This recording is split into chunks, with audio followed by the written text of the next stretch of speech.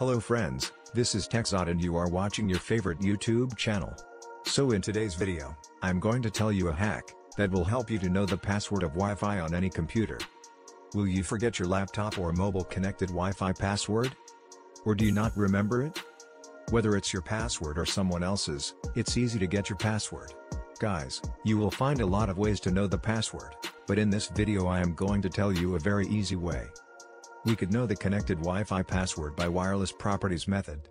In wireless properties method we have to press, window button and search control panel, so here we set icons to, large. Then we click on, network and sharing center.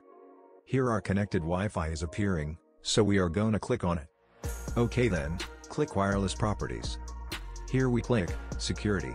Now network security key is appearing by dots. So we can show characters by check on the show characters. That's it. So, what you are waiting for? Go ahead. Hit like button. You can also share this short video with friends. Thanks for watching, goodbye.